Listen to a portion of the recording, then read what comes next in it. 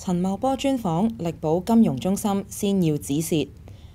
反修例風波延續兩個月，甚至成為國際以至中美角力嘅議題。財政司司長陳茂波接受本報專訪時話：香港金融中心地位現時所受挑戰，比二零一四年佔中期間更大。但係當時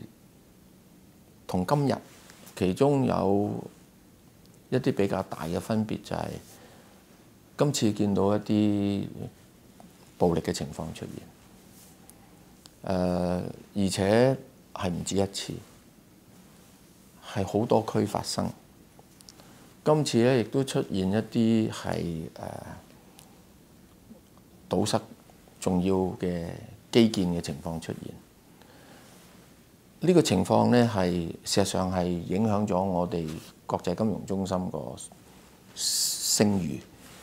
陳茂波話：現時香港金融市場，不論係銀行體系、貨幣或者股份交易，都未出現異常，但長期社會不安嘅影響唔可以忽視。六月、七月大致上呢，從個資金流走嗰方面呢，唔見到一啲大大規模嘅一啲咁嘅情況。